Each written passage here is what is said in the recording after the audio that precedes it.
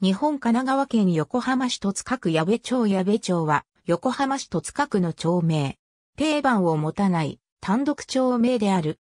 住居表示未実施。郵便番号は244-0002。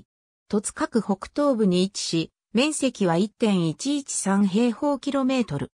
町中央部を南北に、戸塚道路が通り、東側を南北に、東日本旅客鉄道東海道本線が通る。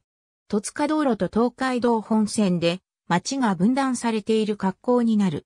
特に東海道本線を越えて町内東西を行き来できるのは横断歩道橋一箇所であり、徒歩以外では一旦町域外に出ないと不可能である。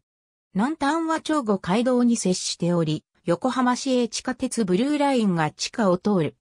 住宅地の地下は2017年の工事地下によれば、矢部町あざご、焼きは135番10の地点で30万6千円平方メートルとなっている。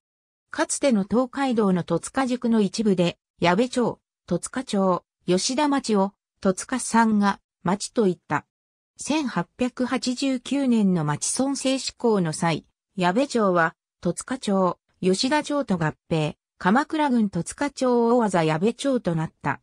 1939年4月1日に横浜市戸塚区に編入され、戸塚区矢部町が新設された。地名の由来は、矢作部と呼ばれる矢の製造を行う、職能集団が住んでいたことと言われている。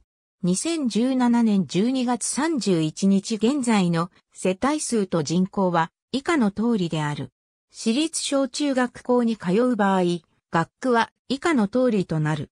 町内に鉄道駅はないが、JR、横浜市営地下鉄戸塚駅、横浜市営地下鉄踊り場駅が近接、または徒歩圏内である。また、戸塚駅に向かう神奈中バスが利用できる。ありがとうございます。